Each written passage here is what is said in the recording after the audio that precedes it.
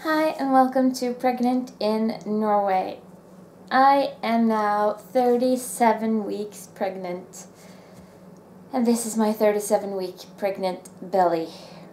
It's very big, it's very exhausting. And my face is all pregnanty.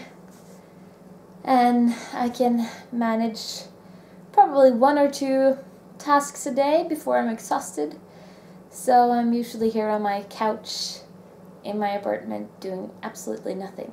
And it's snow and ice outside, so I can't really walk.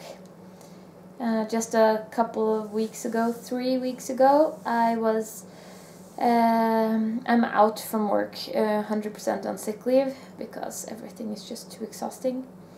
And walking outside was horrible because I kept raising my shoulders because I was so afraid to fall because of the ice and snow that I managed to get like a it was very painful neck and shoulder thing. And it spread up into my jaw and my ear so it felt like I had like teeth ache toothache and uh, like ear ache thing and headache and it was just horrible. So I'm pretty exhausted now and we, if you follow me on Facebook, you probably saw my video on the whole moving thing because we're in the middle of selling our apartment in the middle of this pregnancy. Of course, of course, we do that.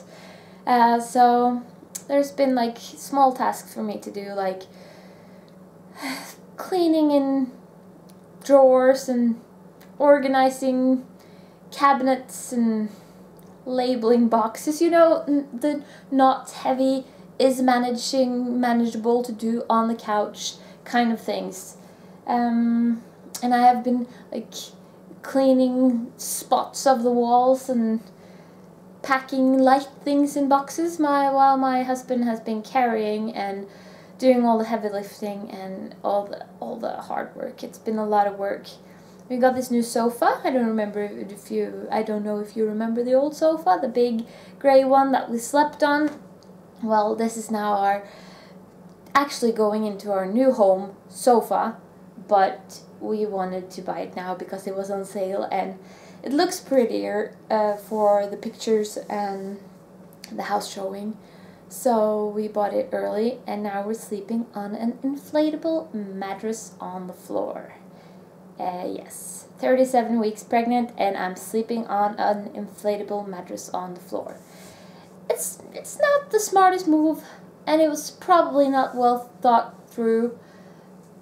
But we really wanted sofa, and we didn't have place to have the both of the sofas, and somebody wanted to buy our old sofa for a good enough amount of money, so we just did that. Yeah, the first night after we sold our sofa, we slept on the floor. Great thinking. Well, I just wanted to update you. If uh, this baby comes as early as my first son did, he's actually going to pop out in just five days. Uh, but hopefully he will stay in here for another almost, well, another three weeks, we'll hope. And if you follow me on Instagram or Facebook, you will probably get a message there before a video is posted uh, because my videos is usually delayed on uh, publishing, at least the Pregnant in Norway series, just in case something happens.